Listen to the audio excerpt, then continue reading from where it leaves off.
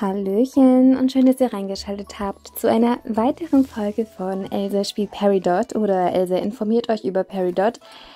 Ja, ich habe heute Morgen eigentlich schon einen Post gemacht über die Finalisten der sogenannten Peridot Archetype Challenge, also der Challenge, wo man die Archetypen einreichen konnte.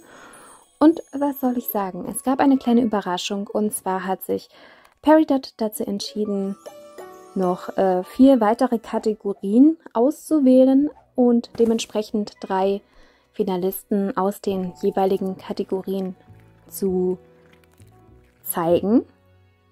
Und das sind Kunst, Saisonal, Galaxie, also Weltraum und Essen.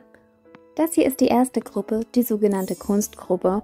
Und da gibt es einen äh, Tintenklecks-Archetypen, einen Sternennacht-Archetypen und einen Kunstschleuder-Archetyp. Sehr nice. Wobei ich mich so frage, Sternennacht, ob das nicht vielleicht dann doch lieber in diese Space-Kategorie fallen würde. Aber gut, darüber lässt sich natürlich streiten.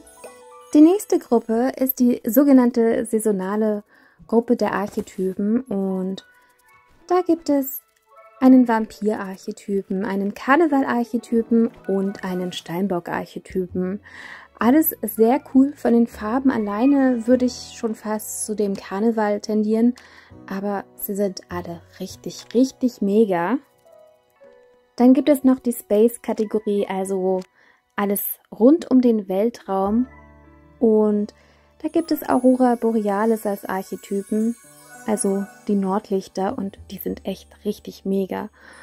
Dann gibt es auch noch einen Mondarchetypen und eine Sternschnuppe als Archetyp. Zu guter Letzt gibt es die Gruppe der Essensarchetypen und die sind echt auch richtig ultra niedlich geworden, finde ich.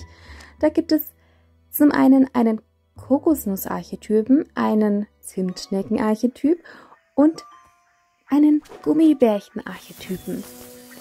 Alle sehr süß und die Entscheidung ist natürlich unglaublich schwer.